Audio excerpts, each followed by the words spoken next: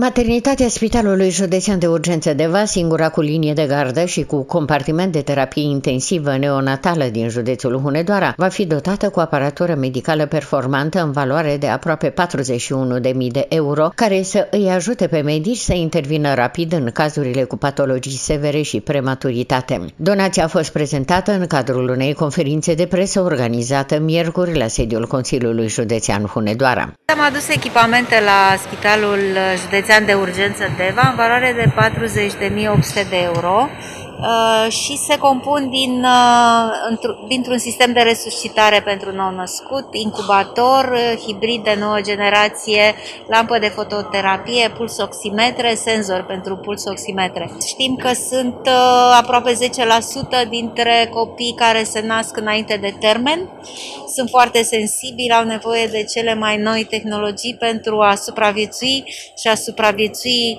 cât mai bine. Uh, aveți specialiști și oameni din sistemul medical care sunt foarte bine pregătiți și am văzut că în spitale lucrau cu echipamente destul de perimate, că au nevoie de tehnologie de ultimă generație, non-invazivă, care să le transmită întotdeauna starea de sănătate a copilului, astfel încât să știe ce au de făcut. Deci aveți oameni foarte bine pregătiți și au nevoie de echipamente cât mai bune pentru a ajuta copiii.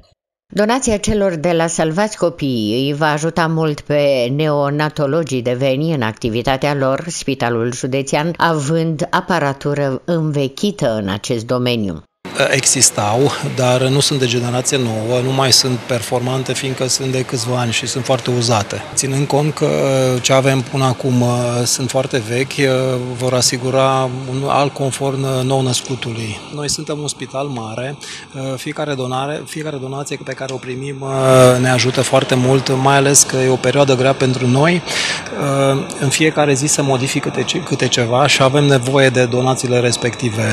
Fiecare copil are o șansă la viață, mai ales acum când am primit și lampa și uh, incubatorul și o să mai primim și altceva. În urma acestei donații, la care se mai adaugă și alte investiții, oficialitățile județene consideră că sectorul medical pediatric de la spitalul din Deva se va dezvolta foarte mult într-o perioadă relativ scurtă. Doresc să-i mulțumesc din suflet doamnei președinte Asociației Salvați Copiii din România pentru efortul pe care l-au făcut ca astăzi maternitatea din Deva să fie dotată cu aparatură de peste 40.000 de euro.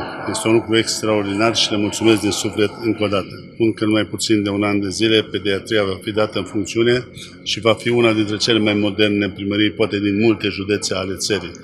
Doresc să facem o maternitate, o pediatrie în Deva, în așa fel încât să concurăm cu pediatriile din alte județe, chiar cu spitale universitare. Să demonstrăm că și într-un județ cum este județul Nedoara se poate. Aparatura medicală donată de Salvați Copiii România pentru spitalul din Deva este extrem de importantă și prin prisma faptului că rata mortalității infantile în județul Hunedoara este sensibil mai ridicată decât media pe țară, și anume 7,3 la mie de copii născuți vii față de 5,8.